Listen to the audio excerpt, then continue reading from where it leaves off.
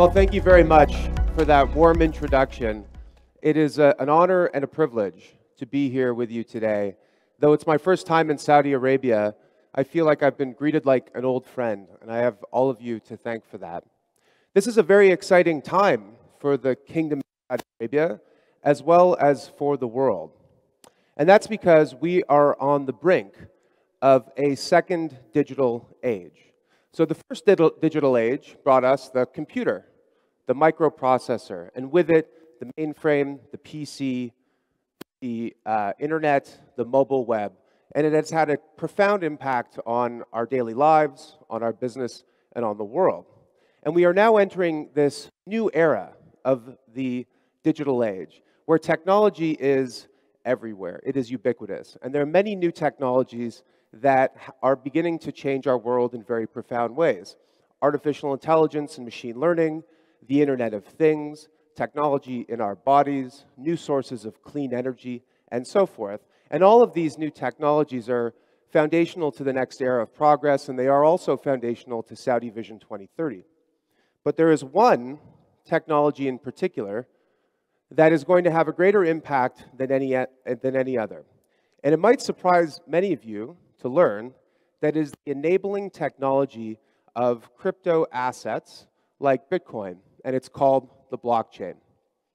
I'm not going to speak to you today about digital currencies per se, but to tell you a little bit about a new technology that I believe represents nothing short of the second era of the internet. So let me explain what I mean by that. When you use the internet today to send and move information, you're not sending an original, unique thing. You're sending a version or a copy. So if you send an email to someone, you can send the same email to someone else. If you attach a PDF, you can send that same document to many people. If you type something into Twitter, it's available for all to see. So the first era of the internet, the internet that we know so well, it's kind of like a printing press for information that everyone gets to control. And it has had a very profound impact on a lot of information based industries, like, say, media or publishing. When it comes to things that have value, though, being able to create copies is not such a good idea. So instead of sending a PDF with this PowerPoint presentation, let's say that I owed you money. Well, it's very important that when I send that money, that you know you've got the only version, that I can't create copies of that money the way I could with, say, that PDF. And this is a specific computer science problem that smart people tried to figure out throughout basically the whole first era of the internet. It's called the double spend problem. How do you ensure that when you move something of value using a digital means, that you aren't able to create another version, that there isn't a, a trail of digital breadcrumbs? Because it's great for all of us to have our own printing press for information, by and large, but it's not so great for everyone to have their own printing press for money. And because of this very specific problem, we have remained reliant upon middlemen, intermediaries, who uh, existed obviously before the first era of the internet, but if anything, have grown more powerful during its emergence. And these uh, intermediaries would be familiar to many people. Of course, there are, are banks and other financial intermediaries, governments, and so forth. But actually, the most powerful intermediaries of this first era of the digital age are digital conglomerates like Amazon and Apple or social media companies like Facebook. They, along with financial intermediaries, perform essential functions in the economy online, just as they did offline. They establish identities in transactions who's the buyer, who's the seller, who's the sender, who's the receiver. They perform business logic, uh, contracting, record keeping, and so forth. And they create trust between parties so that we know when we interact with them that they are maintaining a record of who owes what to whom and who owns what so that we can't have that problem, right, of sending the same thing twice. Now, overall, intermediaries have done a decent job, but they have some very specific limitations. They're centralized, which makes them vulnerable to hacking or to attack. They add friction to transactions. In the case of remittances, according to the World Bank, it takes uh, on average five to seven days and costs around 9% for money to move across uh, borders on average. They exclude big parts of the population His Excellency described a situation in Pakistan where there are, are 100 million or so people who lack access to financial services. There are many complex reasons for that, but one of them is that it's hard in many instances for people to get a bank account because they lack an identity, they don't have a government issued ID, or they may not meet the minimum balance requirement to have a bank. I don't know if that's the case in Pakistan. I'm just saying in general, those are some major concerns. And when it comes to big technology companies, there's a, a, a very troubling trend, which is that they capture all of this data and all of this information about users online, whether it's transaction data or social data and so forth, and they own it and they get to monetize it, even though technically it's the user that creates it. So, what if the internet was entering a second era? What if instead of having an internet of information, we could have an internet of value or assets? So, in 2008, an anonymous person or persons uh, named Satoshi Nakamoto created this thing called Bitcoin. And what was really amazing about Bitcoin was that it worked. It worked in the sense that it solved the double spend problem. For the first time in human history, we had a way to move something of value peer to peer on the internet without the need for a middleman. And it worked so well that it has set off the spark, which has really caught on like wildfire and, and spread to all aspects of the economy. Now, Bitcoin is what you'd consider a cryptocurrency. And there are lots of ways in which cryptocurrencies and governments and central banks intersect. But the underlying technology of blockchain is more benign than that. It's not ideological. It is simply put the world's first digital medium for value. And all that means is that in the same way that the internet transformed how we move and store information, blockchain is going to change how we move and store value. And the way it does that is through this distributed ledger, which is another description of the word blockchain. So in a traditional setting, a bank or another intermediary maintains a ledger of transactions, and that gives them status as a trusted intermediary. A blockchain is simply put a distributed ledger, where a copy of each ledger exists on any computer that's connected to the network, and it's available for all to see. Any single person can access and look at the ledger, but no single entity can alter its results. The only way that it can get updated is by the network reaching consensus. So, in other words, it acts as a trusted, immutable record of transactions. It could be that those transactions are for currencies, it could also be that they're for something completely unrelated, like stocks and bonds, or loyalty points, or any other manner of assets. I find that the discussion around uh, blockchain often reminds me of this parable of the blind men and the elephant, where there are a bunch of men standing around the elephant, and they're each touching a different part. One's touching the tail, another's touching the ear, another's touching the trunk. And they all say it feels like something different, uh, different, a snake, a rope, uh, the bark of a tree, and so forth.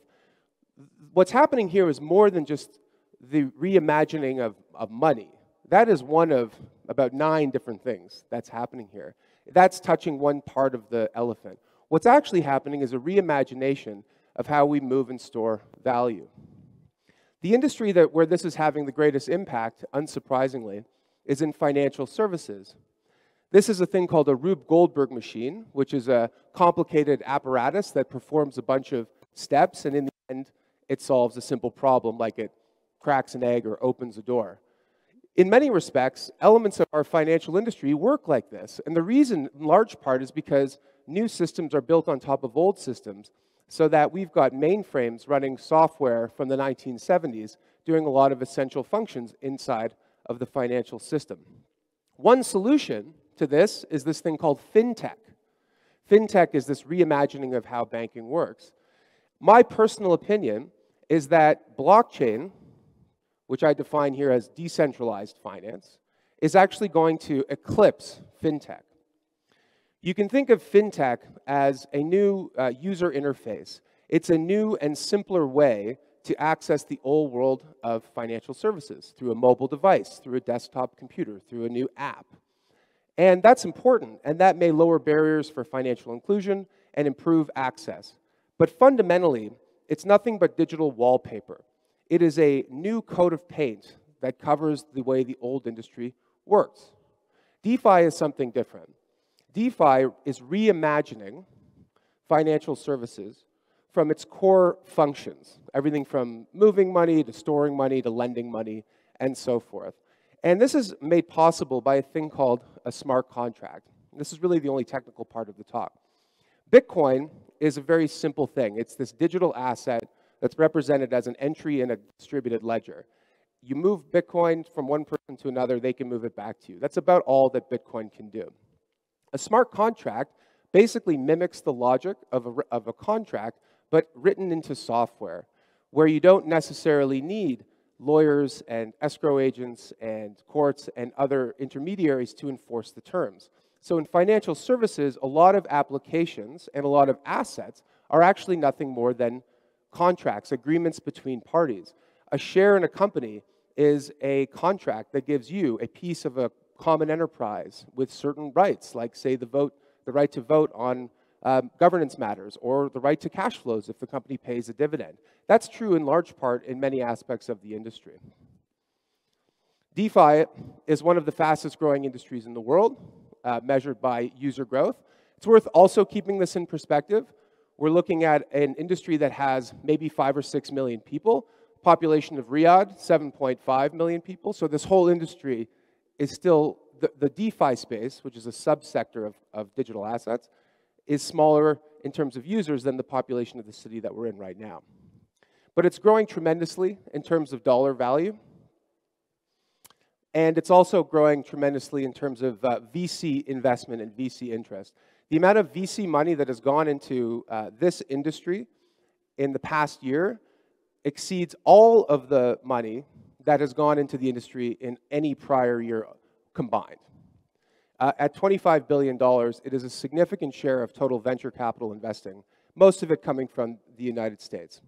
So just very briefly, the financial services industry, and it's one that many people here know very well, it, uh, it, it, performs many essential functions in the economy. It is more than just any one industry. It is the lifeblood of all industry. It is the thing that connects us together. The nine things that it does, everything from giving us a way to move and store money, to lend money, to insure against risk, to organize financial information.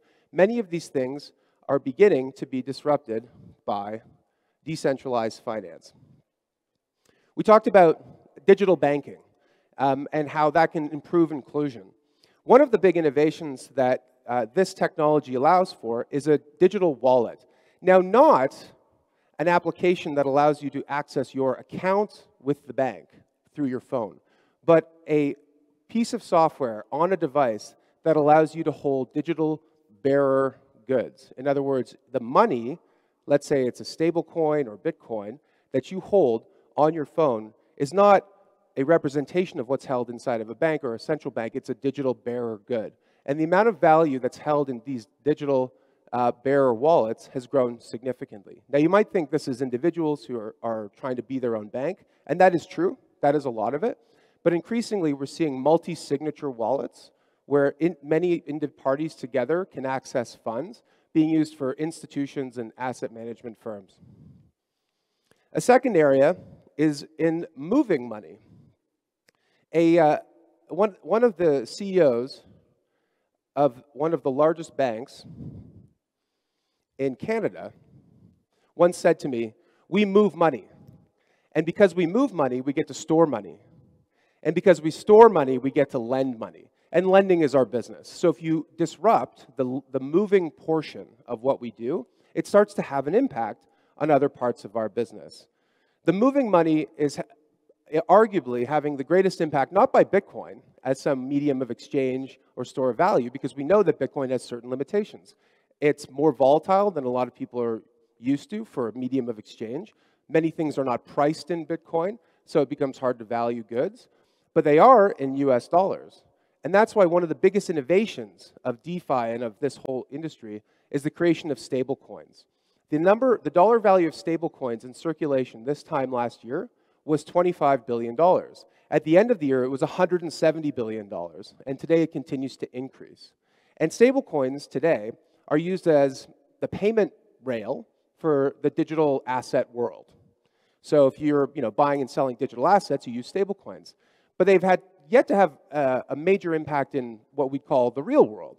However, stablecoins allow you to move money peer to peer between people with digital wallets anywhere in the world in a matter of seconds or minutes, and depending on the blockchain, for, for little to no fees. So what I described earlier, this issue with remittances, where a $800 billion a year market uh, has average fees of 9%, could be disrupted by this. It's also being used in parts of the world where people may be concerned about the local currency, and this is a legitimate concern if I were a central banker. In Turkey, for example, during the recent currency uh, crisis, the number one pair against the lira was not dollars or euros. It was actually a, a US dollar stablecoin called Tether, which has its own issues. But interestingly, people were willing to look past those issues in order to get money into some form of dollar backed reserves. In my view, having access to the moving and storing of value are the basic building blocks of financial inclusion. If you look at crypto ownership um, in the region and financial inclusion in the region, it paints a very interesting picture. There are still many parts of the world, as we heard, where financial inclusion is not absolute. Even in the United States, which people think of as an advanced economy, according to the OECD, 37 million people are unbanked or underbanked. A lot of them are migrants. So this is a problem that exists in many parts of the world. Crypto ownership in these different countries is still relatively small, though I will point out that India, because of its uh, very large denominator, has one of the largest markets for uh, crypto users in the world at over 100 million. Another very interesting topic is lending. So moving money, we get to move money, we get to store money, we get to lend money.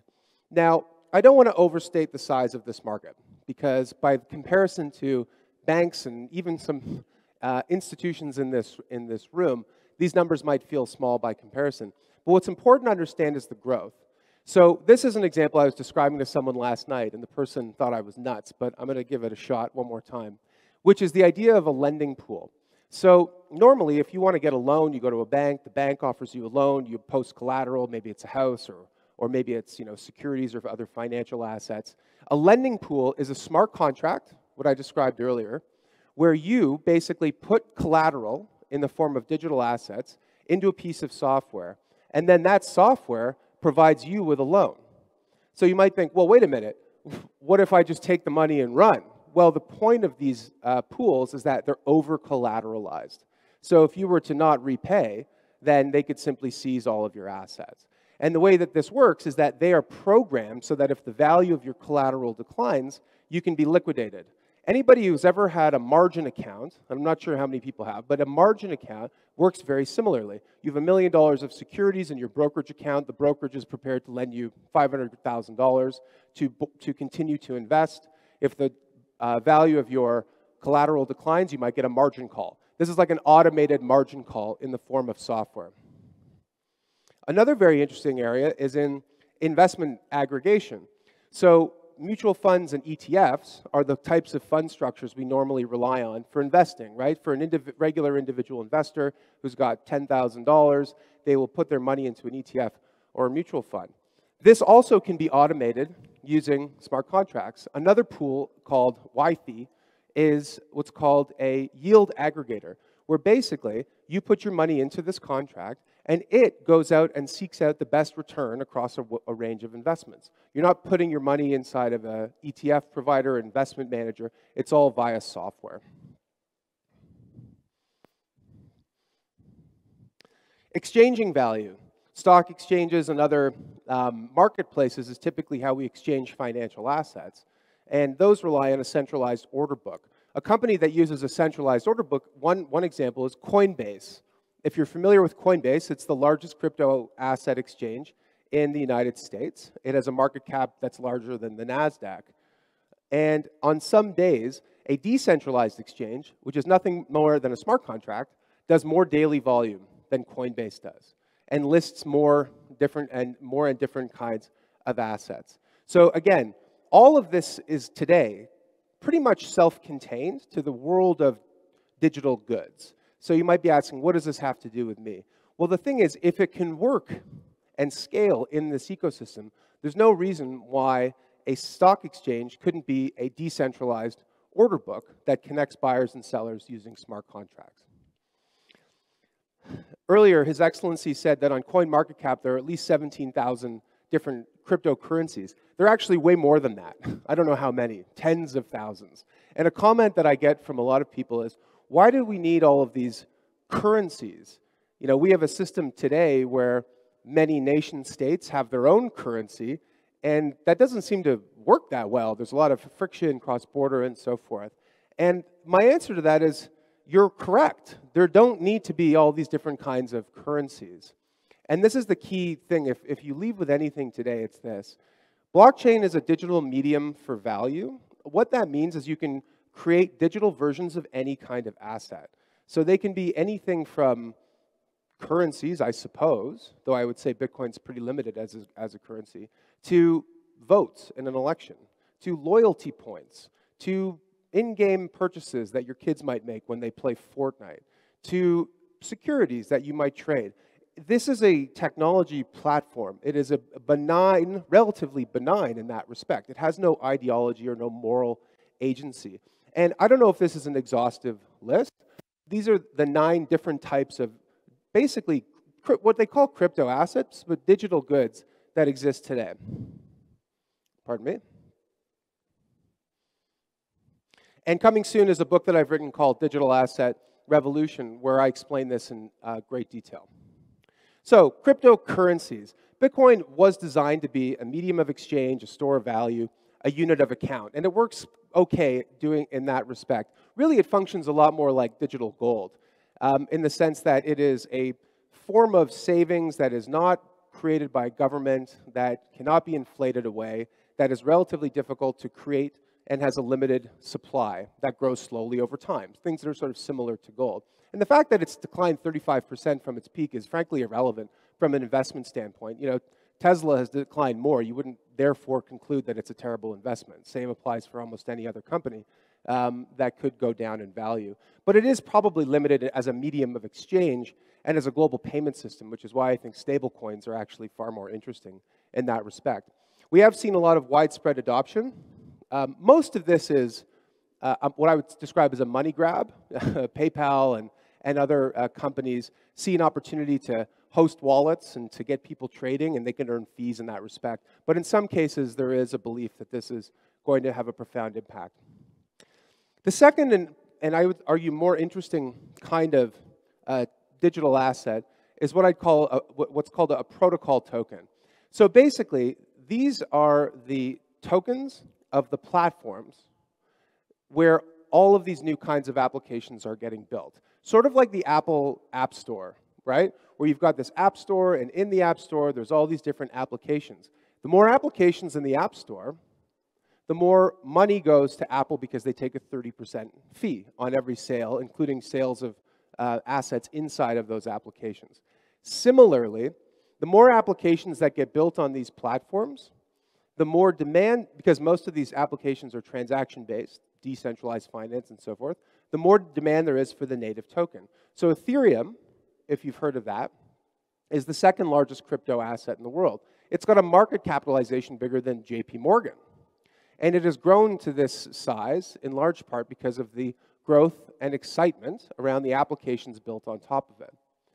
But whereas Bitcoin, I think, stands alone as this digital gold, Ethereum has many competitors. And in its early days, Ethereum uh, controlled 100% of all transaction volume in DeFi, just as an example. By the end of last year, it was about 65%. So investing, not that I'm here to provide investment advice, but this is not like a currency. These things are not designed to be a store of value. It's more like owning a basket of tech stocks where three out of five of them might not pan out. So when these things go up and down in value, it's not to say that they're not a store of value because they were never intended to be. They're a directional bet on the usefulness and the growth of these ecosystems. Just like owning Apple shares is a directional bet on the growth of um, handset sales and on iOS application growth. Governance tokens is yet another kind of token.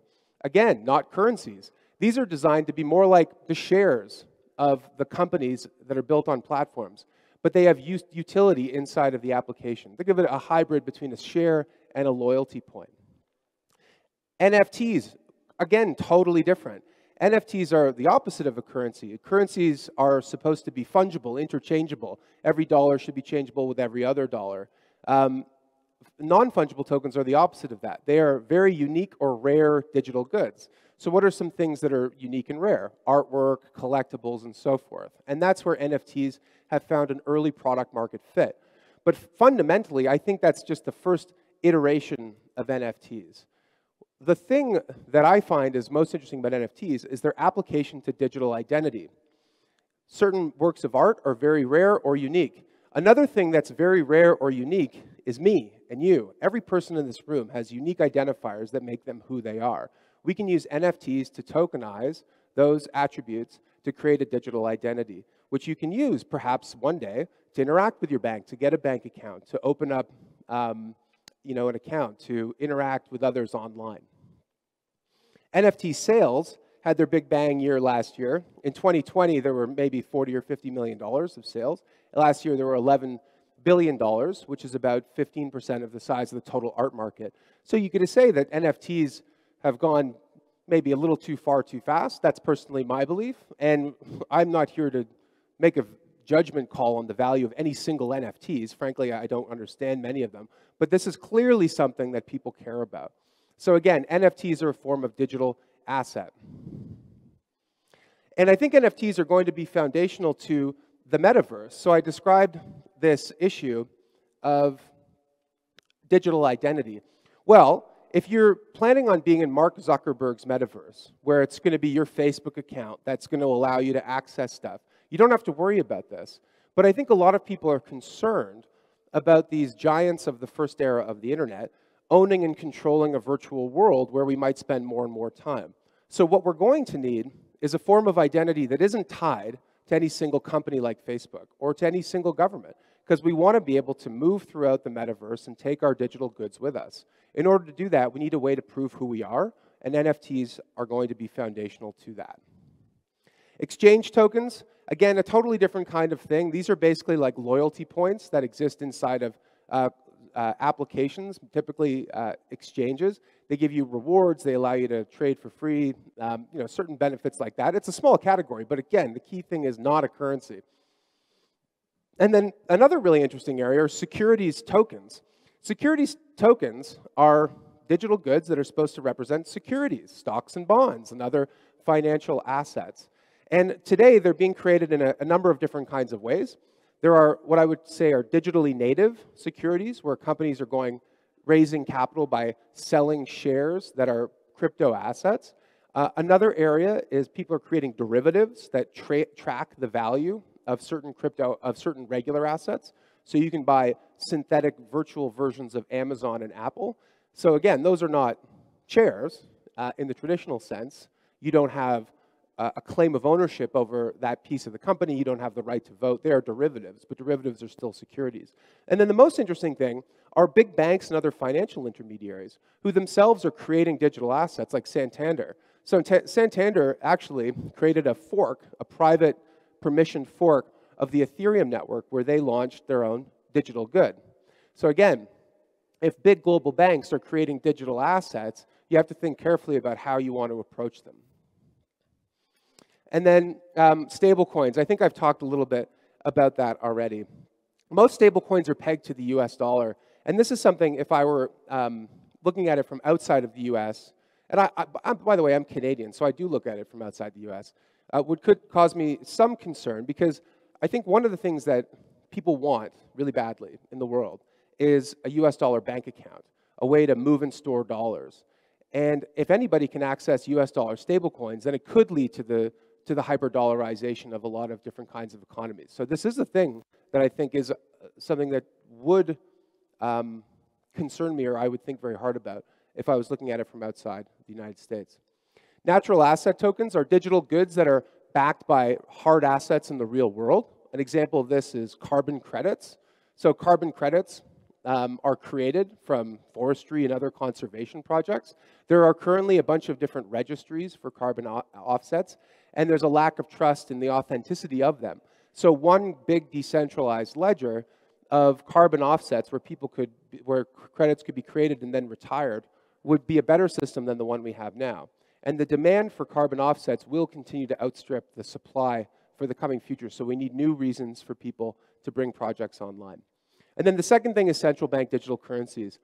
I'd like to think that I come at this topic pretty honestly. I've written extensively on the subject, including for the Financial Post, Canada's leading business newspaper, because it was actually our former governor of the central bank, Mark Carney, who then went on to be the governor of the Bank of England, who made the case um, at a major event uh, in the United States that, at uh, Jackson Hole, Wyoming, that maybe the solution for the future of money is a not a single, uh, not a central bank currency backed by any single government money. In fact, he made the case that the US dollar probably has too big of a role in the world. It's 11% of the GDP, but it's 70% of transaction volumes.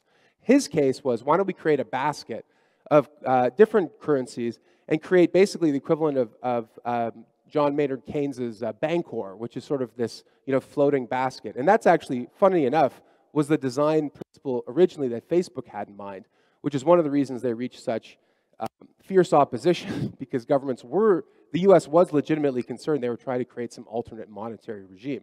I think when it comes from a central bank, it's a little bit more palatable.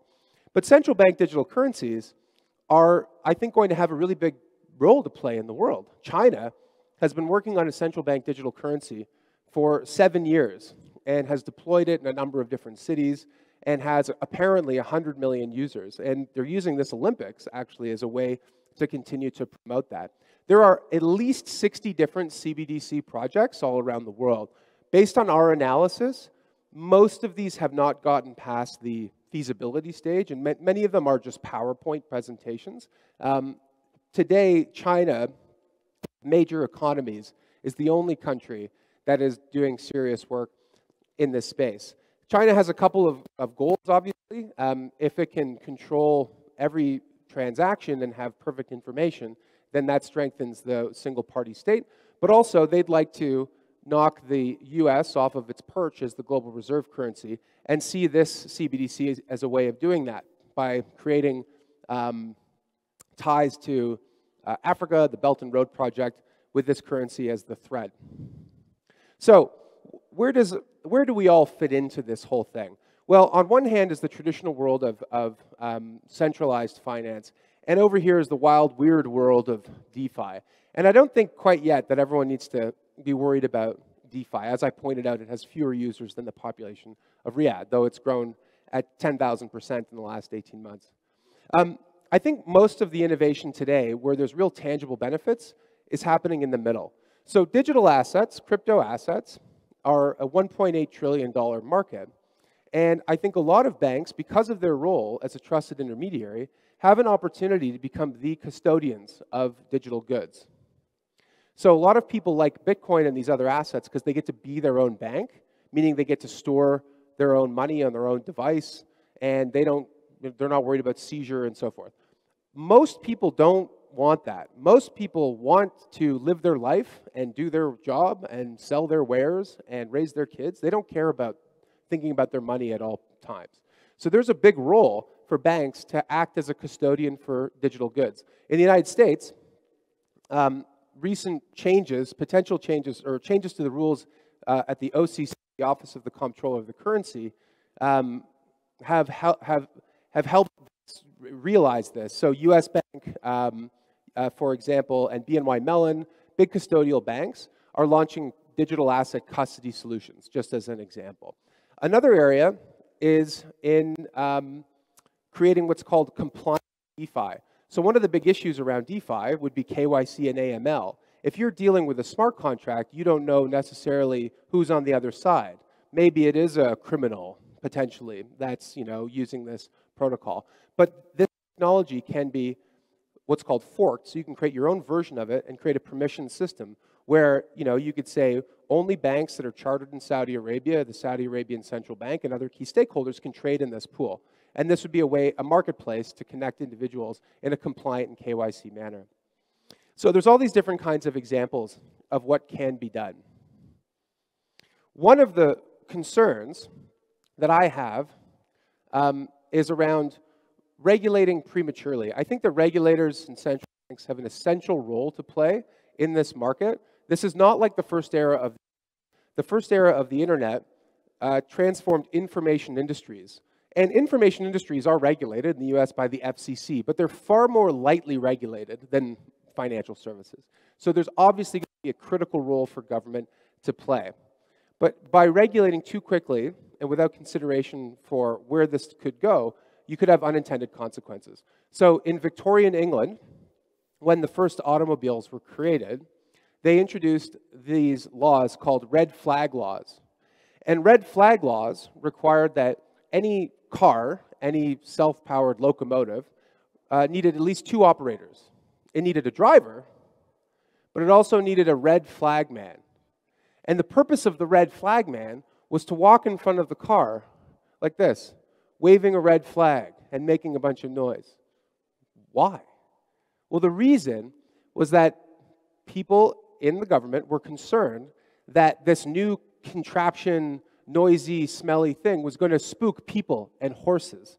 It was designed to make sure that horses were not scared.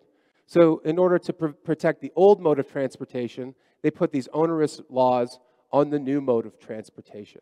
And as a result, some might argue the UK ceded leadership in automobile production to Germany and the US and others. I don't know about that. But the point is that the laws had an unintended consequence. And they come about because I think these kinds of things can come about because leaders of, of the old paradigm have a hard time embracing the new. Jamie Dimon, who's an incredibly brilliant individual and an amazingly successful business person who has ably run a giant bank for more than a decade, continues to say that Bitcoin is worthless. And if you dig into his comments, um, you realize that he, he, doesn't, he hasn't actually spent any time to, to think about this or consider this seriously, um, which is so surprising given how intelligent and how capable a person he is. Um, there's a second part to this quote, of course. He says, I personally think Bitcoin is worthless, but our clients disagree. And if you know anything about JP Morgan's clients, some of them are pretty smart. But his comments to me sort of reflect a broader trend that happens every time the new, new thing comes along. By the way, sometimes a new thing comes along and it starts off as a hobby or a toy, and it remains a hobby or a toy, and it never scales, right? So that's a critique that some people make of, of blockchain, that this is interesting for certain things, but can it really ever achieve anything more? And people have made similar comments in the past, whether it's the invention of the radio or the car um, or different political systems, leaders of old paradigms have a hard time embracing the new. They react with derision, with humor, and eventually with hostility. And I want to leave you just with one final thought about the nature of, of exponential growth in technology. I'm sure some of you are familiar with the concept of Moore's Law, the idea that the number of semiconductors that can be added to a motherboard can double every 18 months, and that's something that has held broadly true since the invention of the semiconductor in the 1950s uh, and 60s. And it applies, I think, generally to all technology. So the, the story goes something like this the, the king of the land is so pleased with this uh, new game, chess, that's been brought to him by one of the members of his court, that he offers him anything he wants in the kingdom as a reward, whatever his heart desires. And the man says, Sire, I appreciate your active goodwill, but I am a humble servant, and all I request is some rice to feed my family. But I want you to provide it for me in the following way one grain on the first piece of the chessboard, two grains on the second, four grains on the third, eight grains on the fourth, and so forth. And the king, who maybe is a great leader but not a great mathematician, says, No problem, your wish is granted. Of course, 8 becomes 16, becomes 32, and so on and so forth. So by halfway through the chessboard, it's more rice than the kingdom can produce in a, in a single year. And by the end of the chessboard, it's enough rice to cover the whole of planet Earth in two meters of rice. Now, there's a, a side to the story where the king becomes very upset and chops his head off. Let me assure you, that won't happen to you folks. But I think that the metaphor um, is a good one for the evolution of technology. So, from the invention of the computer, as we know it, to today, the world has changed in profound ways. Uh, I think we can all agree. And to me, I think we're sort of at this, the middle of the chessboard. We're the second era of the digital age. And I mentioned other technologies, by the way, whether it's AI and IoT and blockchain and these others, are going to continue to accelerate the change, and the pace of growth. And I want you all to be prepared and armed with the knowledge to not only survive, but to thrive in this new reality. Thank you very much. It's been an absolute honor and a privilege to be here, and I look forward to the panel discussion. Thank you.